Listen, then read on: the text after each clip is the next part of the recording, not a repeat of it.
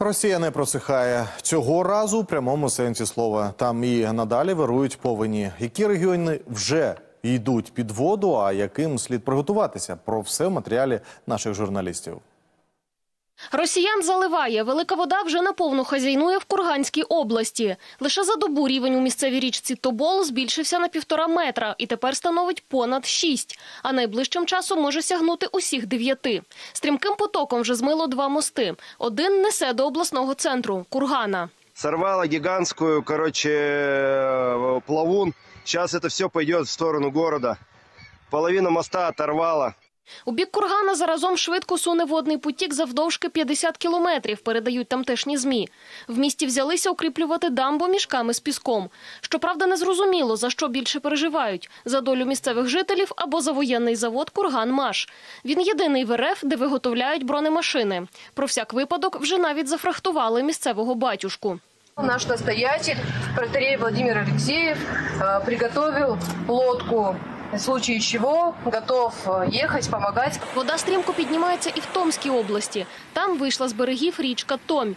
В регіоні оголошено штормове попередження. Та паводок уже встиг зруйнувати частину автомобільної дороги поблизу одного з місцевих мостів.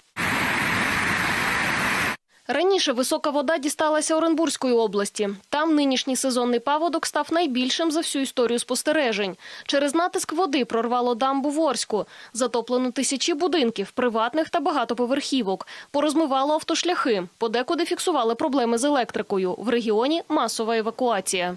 Вода уже дошла до второго этажа у нас. Мы думали, что не дойдет она до второго этажа. Оказывается, это самое. Ну и решили сейчас, вот они завтра, наверное, у- тоже поедут. Они сами не ожидали, честное слово, такого потока. Не ожидали вообще.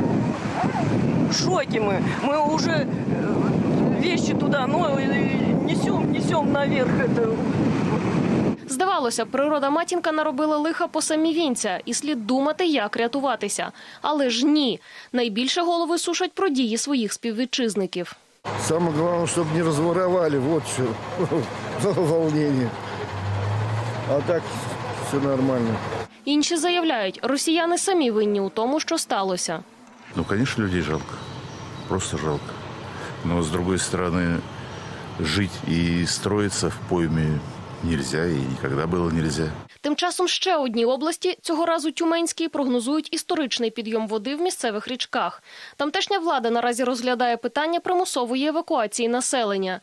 Загалом від початку повеней в РФ під воду пішло майже 50 тисяч будинків та присадибних ділянок. А збитки в одній лише Оренбурзькій області оцінили в 40 мільярдів рублів. Анна Басова, Катерина Кравець, подробиці телеканал Інтер, марафон. Єдині новини.